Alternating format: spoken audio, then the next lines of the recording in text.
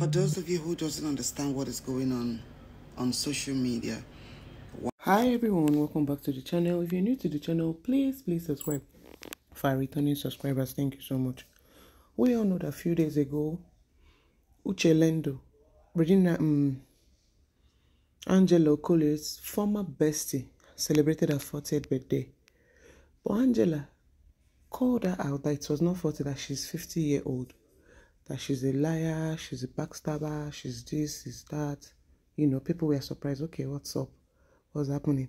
Because everybody knew how, you know, how um close they were before the incident in 2029, 2019 when Angela was now, you know, accusing Uche of of um, releasing her videos and pictures and everything when she got shot and when they narrated a lot of things against her. She even included Anita Joseph in the whole drama and mess. That Anita Joseph is a gossip, that she's a pimp, she's this, she's that, and everything.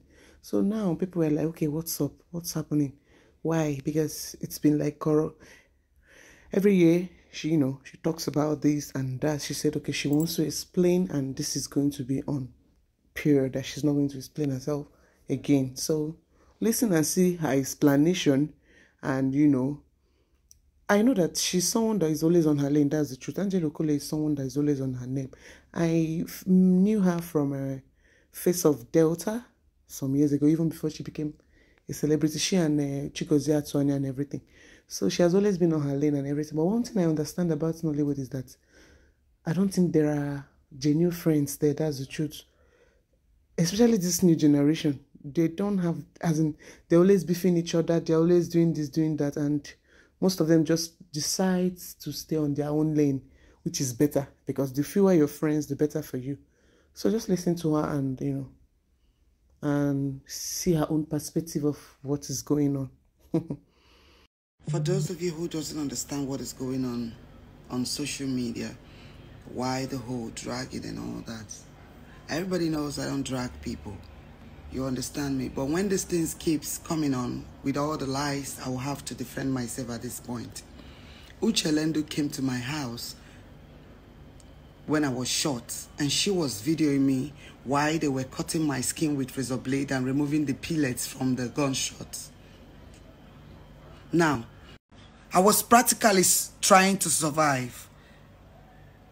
They were injecting me four injections every blessed day just to pass me out and stabilize my life. I took over 200 injections. You had the infantry to video me to be sending to a gullible and wicked blogger that was writing that I slept with a husband and wife, which you and me know it was a lie because I don't know anybody like that. All my friends are married and nobody's going to come and tell you that I've ever done anything like that to them. Nobody has ever tracked me. Have you ever seen anyone drag me on social media? I am not part of them. I am not. Because if I am, I'm sure if they have anything against me, they would have posted it since long time ago. But they don't have anything against me. I am not part of what they do. But my anger is, why would you want to do me dirty to that extent? Why? Anita was busy saying it was karma. Karma of what? Why? Did I do you wrong? No, come out and say it. Say what? Tell the world what I have done to you. Why? You want to. Why you people just keep gangrene against me? For what? For what? Have you ever seen anyone drag me on social media say Angela snatch husband, no snatch husband? I don't follow for that league. I don't follow for that uh, this thing where they do. I'm not part of their nonsense that they're doing. You can't find me there. You understand? You can't. In that level, you know go fit. I have a lot of people, my friends, that are married. In fact, like 90% of my friends are married. Nobody will come and tell you that Angela do one or snatch one husband or want. I'm not in that. I'm not in that. I know date that level with these people. I know date that level with them. And me, I choose my friendships. You get it? Why? The point is, why were they trying to assassinate my character? Why were they trying to write a different story from what happened? That I was coming from a show on our way going back home at Orile.